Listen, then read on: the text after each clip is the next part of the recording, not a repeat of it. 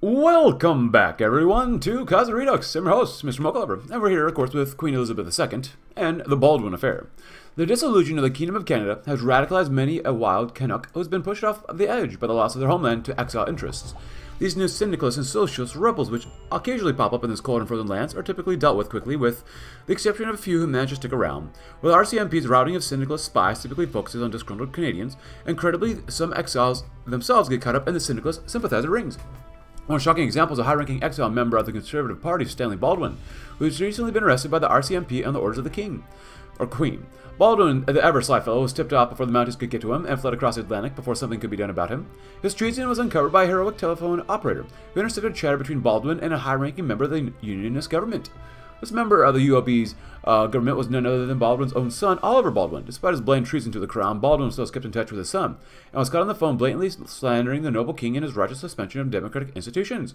Baldwin's escape to London has ruffled many feathers in London, with Baldwin only being able to uh, save from arrest due to the influence of his son. Baldwin, despite being a high-ranking Tory, has stated that he plans to renounce politics and live the rest of his life in quiet retirement. I knew there was something off with that man. God, I thought he brought stability to the empire. But I guess not. So we did this one last time, and this one. I believe we maybe read this one. We should take it upon ourselves to train a cadre of experts to man and maintain radios, radar, and other modern electric weapons of war. The radar is no simple technology. Only competent engineers and field operators ensure our station works at maximal efficiency, especially as we build more. We need ships. Versus we need armaments, we need industry. Well, state of the British fleet. If Canada is to defend itself, with much less radical, we much less reclaim home isles, it must first develop a first-rate navy. Fortunately, the legacy of the once great Royal Navy provides the perfect foundation, and starting from scratch allows us to get the most up-to-date navy possible. So here we're at. We actually pushed out a little bit with the Marines, and it looks like we're getting the crap being out of us here. So we're gonna go back in. As oh, I guess you know, yeah, things are going to happen now. Bruh, are you kidding me? Alright, just hold it real quick. They still want to attack and whatnot.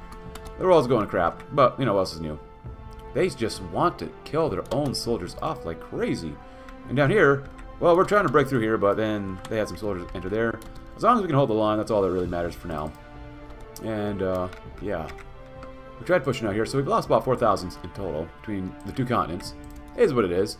And we have a little bit of... Oh, second Valkyrie, yeah.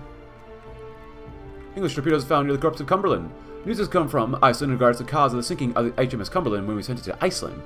Divers found an intact English torpedo that failed to detonate when it was launched against the hull of the Cumberland. The explosion was not an internal mechani mechanical failure after all, but an insidious attempt by English to cowardly attack us during the night. Our people clamor for revenge over the loss of our young man aboard the Cumberland who never made it to shore. The people shall be heard. Nice. I got a lot of horsepower too, which is fantastic. Further develop Alberta oil. Yeah, as much as I want to establish the province of Alaska, we just can't do it. And we could get another British Royal Tour. Oh, that'd be great to do. Can't wait to do that one. Um, anything else here? As we're just kind of grinding through here. We're not going to join the war immediately. Honestly, like, as we've been doing in this campaign, we're going to leave Europe alone. I want to take out America first. Take out all, all of America, maybe Mexico, and then head to Europe, which is probably a bad idea, whatever.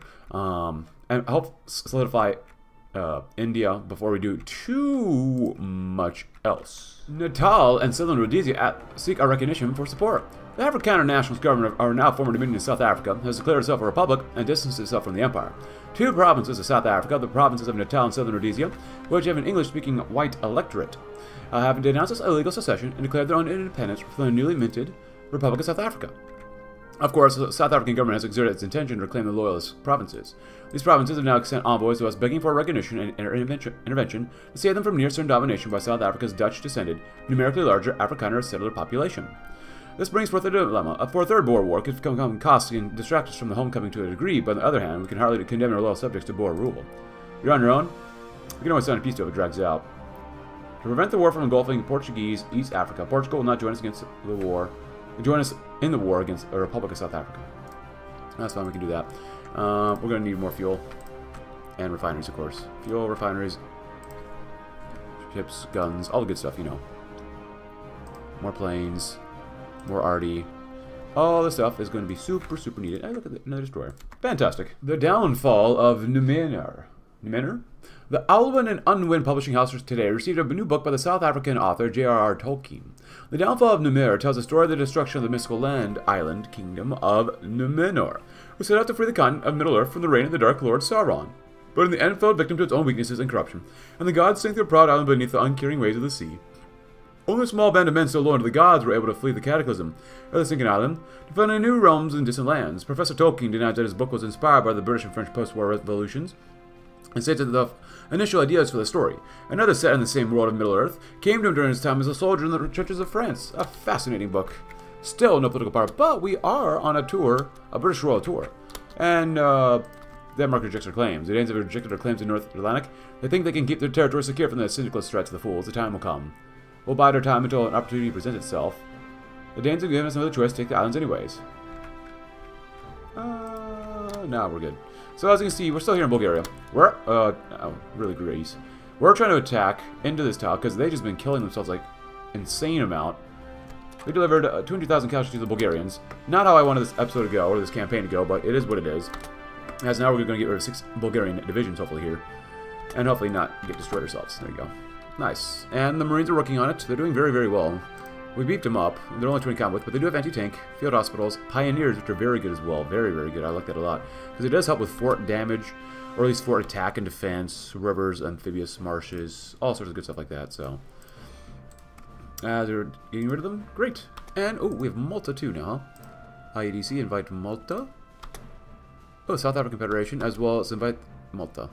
Oh, and we're going to invest into oh, Sardinia for this one. And they've agreed. And I'll invite them as well. But we are currently doing the Vineyard Plan. Organic support elements. The modern industrialized armies increasingly in need of specialized support elements like engineers and scouts to achieve the best results in the field.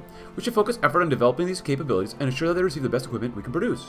And expand training facilities. If Veneer's plan is going to work, we need to put our best effort into expanding our training facilities and transforming our soldiers into a disciplined and premier fighting force. Canada's motor industry. Canada's a rapidly growing motor industry. Oh, no. I mean, uh, better guns and bullets. That's what we wanted. Yeah.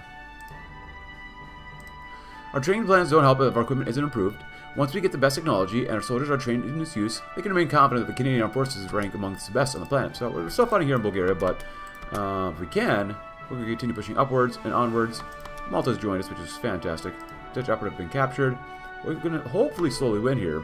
But we'll see, as it is 1940, and this campaign is going to last a long time. So here we're at. We're doing actually quite well in Bulgaria, of all places. We're doing actually okay in India now, too. Um, I'm not sure what happened to them, but you know what?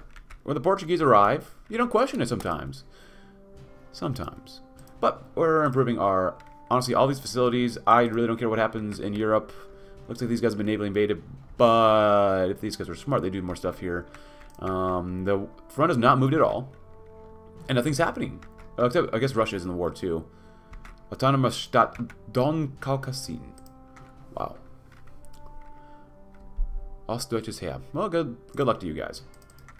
As long as no one kills each other off too much, that's fine with me. They don't upset the balance. The United States is doing better. The Constitutional Republic is still alive, and they're doing okay. The American Union State is doing the best, though. So, I don't know why I'm investing so much time into these guys. That's a good question. You send the Marines into the mountains. You should have sent Mountaineers. That's alright. Um, in all they probably want to protect the capital. You know, it's better if we do it like this. We'll take out Sofia, and then take him to here. Well, good. And over here. I know I'm taking a long time to get to war with everyone else, and we want to reclaim the Empire, and this is a slow way to do it. Very, very slow way. Oh, that's not good. Can we take out the capital? We probably can. Ooh. Austria intervenes. Austria declares war, so be it. Invest 50 PP, that's good. Economy, yeah. What are we doing? Building up more roads, yeah. Well, I, I don't mind the roads, I just we need as much fuel as possible. And more of this. There you go. And roads help too, and build stuff faster and whatnot, but... Obviously, it's not the most optimal way to play as Canada, but it is what it is. It's an attempt. This is my first attempt doing this. We're doing really well with what we got where we're at. No, I want you guys to go here. You stay in Sofia. Circle two more divisions. I mean, who knew that Canada had such a vendetta against Bulgaria, you know? Go.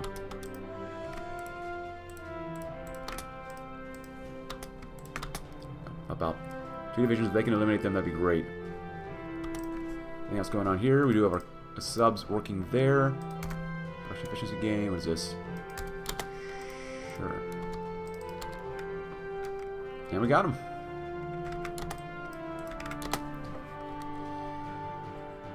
Good, good, good. Support organic elements, shell dies, expand training facilities. Really working on the army now. Um, five is great.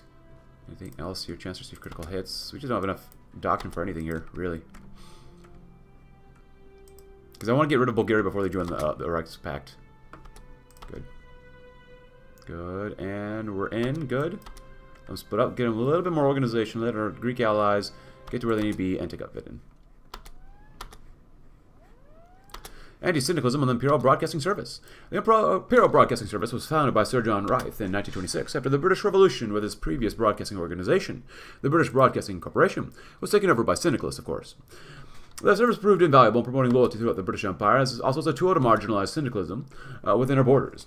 There have also been calls to install Reith as the head of the new Canadian Broadcasting Corporation in order to begin a propaganda campaign against more moderate socialists in the country. Others have suggested uh, using Reith to employ propaganda with more external focus. To prepare for people for the coming fight against syndicalism, CBC is fine as is. Put Reith in charge of the CBC. Uh, put Reith in charge so as long as he focuses his attention on our foes abroad. Well, we don't really need that. It's fine as is. Yeah, that'll help us out a little bit more. Um, I don't mind for concentrating all our soldiers here. And go through here to here to here. You might be able to do another encirclement this way. How's India looking? Looking decent overall.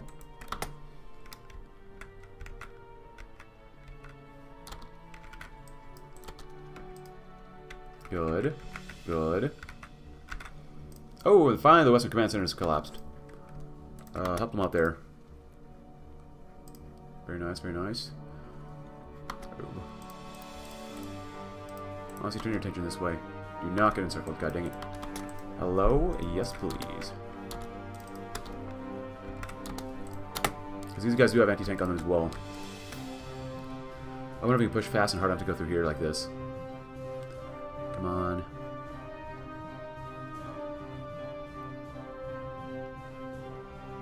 Good. You know what? Let's just go here. Take yourselves in there. Open it up a little bit more. That'd be nice. If you want to leave, just hold it. Just, just hold.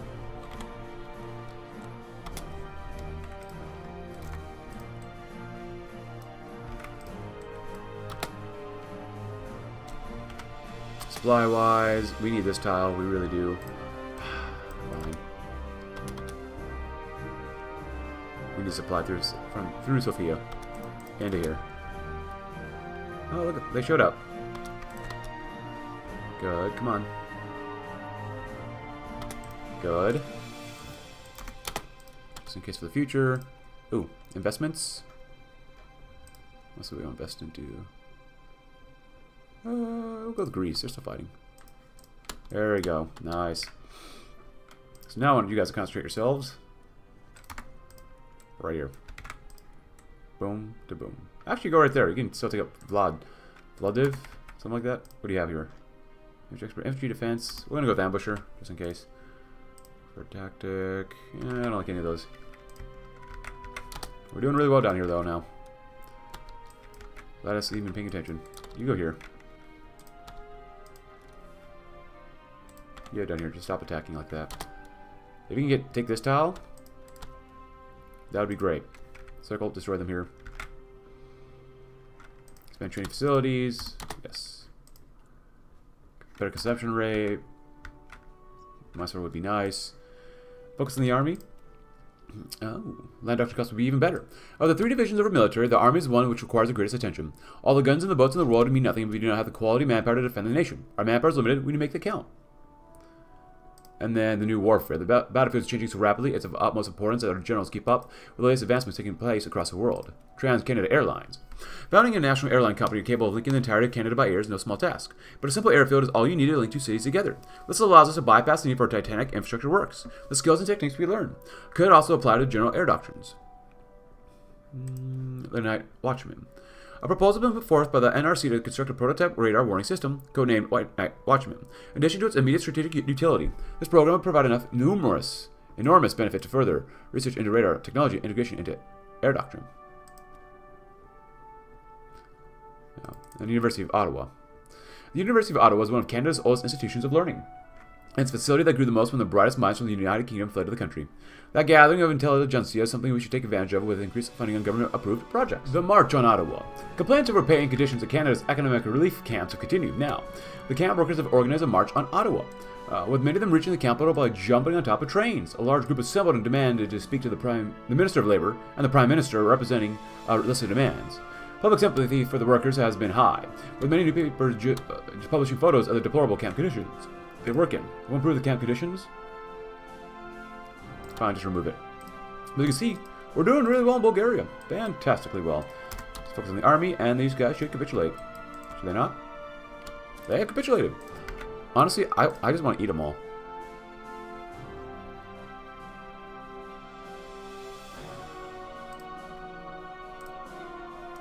Because we did most of the work here, so... Does it make sense for us to eat them? Honestly, no. It makes absolutely no sense, but if we eat them, we can reduce the lag. I do want Sofia. If we do that, then... Can we work around them and do that? And... Piss everyone else off, yeah? Honestly, we can give that to Greece. That's fine with me. Oh, wait, whoops. Hold on. So I... Eastern Salonika? Greece can have that. There you go. I don't know why. I just I just want it. Does it make any sense? No. United Kingdom, Canada, and Bulgaria. But we did it. Oh god. against Albania. Who's... Uh, 175 days. Well, we've got some time for that. So Greece eventually won out with a few thousand British deaths, but it's alright. Now we've got a lot of things here that we got to deal with. Resistance activity is going up. But we do have our Mounties here. Overall, this could be a lot worse. Um, Pioneers, very good. Entrenchment is very nice. Uh, infantry divisions are 40 count with, so they're nice and thick. Field hospitals, I kind of want that just in case. Anyways, it gives even more HP. Hurts our organization, though. How much workmen do we have? A thousand? Go through this and then go through this one as well. Yeah, might as well do that. Go ahead. We don't have a big army, but we have a good army. So we go to war ever with uh, the Reichspakt. We're in the Sarajevo Accords. Yeah, that's weird. Ukraine's in it. That's wait. Oh, the Ottoman Empire's in there too. Oh, that's weird. That's really awkward and weird. Hey, but the Entente's looking okay. We could liberate them, but whatever. Uh, American Civil War. So the Marines did fantastic. We could go to war with these guys, but the American Union State is doing so well that I kind of want to get involved at this point. How strong is the American Union State? They have a crap ton of divisions and a crap ton of manpower. Hmm. How long would it take for us to just fight on them? 30 days? We don't have a big army. And India, actually, we, we finished off India too. We're looking very good in India. So now we're going to do this, this, this, this, this. Um, do that as well. They have a lot of divisions, but it does not mean that they're very good. So at this point, we're going to go home. We're going to make it so that we'll continue to grind out stuff here. We're going to take out the American Union State next, because the Western Command Center has fallen. I would like to take out these guys too, just because they will join probably. Um, there's a chance they could join Japan. But they do have Howard Hughes, so. Uh, Constitution American. How do they own. Was this Lake Erie? That makes no sense. Whatever. I need you all now. So we're going to abandon Bulgaria, even though we just got it, because we could. Get ready to go to war with these guys. So we'll see what happens. Alright, so this part in the campaigns where we're just going to cut ahead into and watch what's going on, and read a couple focuses, and then we'll explain what's going on. But we're going to update the Enfield real quick. Our guns are showing their age, and effort must be made to push Enfield design into the modern era and beyond. Expand artillery power. On the modern industrial battlefield, artillery is king. This has much been proven extensively in the Great War. And the guns in the interior or interwar are only get larger and scarier by the minute. We must modernize our artillery armaments if we hope to stand against our foes. New munitions plants. Our economic revival can now turn towards increasing our production of sorely needed munitions. Our soldiers need gun and bullets both, and lots of them. Foreign contractors. Canada only has so much of an industrial base to work with. If we're going to push beyond its limits, we need to coordinate with military suppliers elsewhere in the Entente. Self-propelled guns. A mobile army requires mobile fire support. By mounting an artillery weapon on the same platforms as tanks, we can economically provide a full range of capabilities to our me mechanized divisions and provide the kind of on-point firepower support that will seal the deal on most armor pushes. Canada's munitions industry. Our munitions industry has still room to grow. A series of economic incentives should prove interesting to investors and get those factories producing like never before. And of course, I read the new warfare as well. Expand HMC Halifax. Halifax Harbor is one of the best ports in the entire world and serves as their access point to the Atlantic and Europe. It has been stretched thin by needing to house the Royal Navy and XL for the last decade. The time's come to finally expand and prepare for even more ships to be serviced here. Davie Shipbuilding Steel. Canada's naval production capacity is barely adequate to maintain the former Royal Fleet, well, just expanded back to its previous glorious days. A national program of intensive shipyard expansion will be necessary to achieve naval supremacy once again, and ensure efforts do not go to waste. Expand HMC Esquimalt. Our naval base on the far side of Vancouver Island gives us a gateway to the Pacific.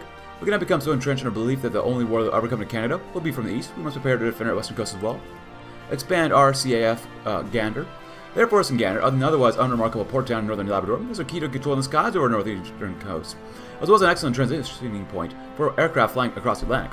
We need to work hard to get it built up where the airfield will be useful, and now we'll expand the RCAF North Bay.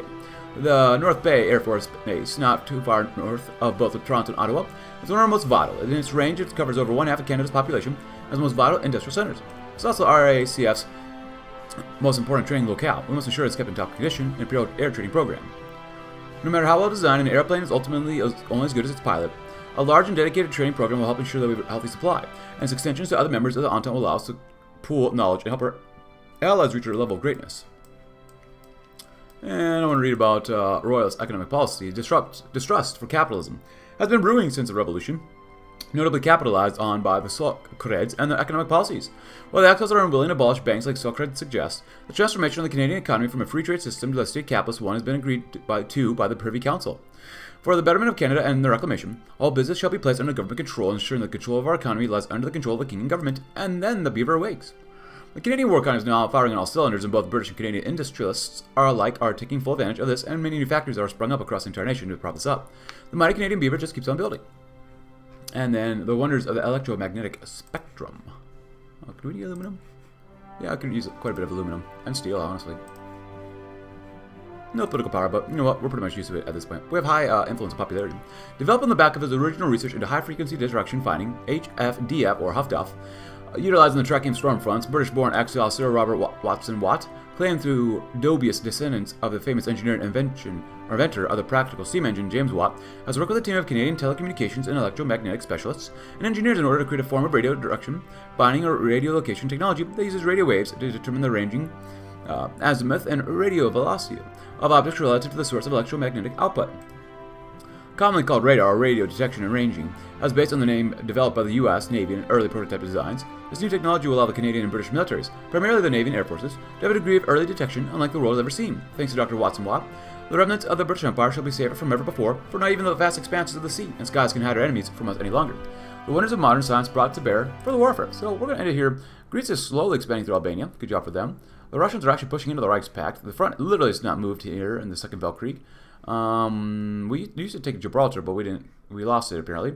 And many of India is now fighting the Bharatiya Commune, and they're actually winning. So overall, it's not bad. Even though I do know this is the weirdest way for us to ever take out um, pretty much anybody here in America, we really probably shouldn't, but I don't really care. I want to try it out. So, hey, if you enjoyed the, cam uh, campaign, the video so far, or enjoy the video, please consider leaving a like. Subscribe if you're new. Check out my Discord link in the description below, and I'll see you tomorrow as we're going to jump around a whole lot more and win the wars in America, annex them probably, and then maybe start focusing on Europe. Thanks for watching. Have a great rest of your day.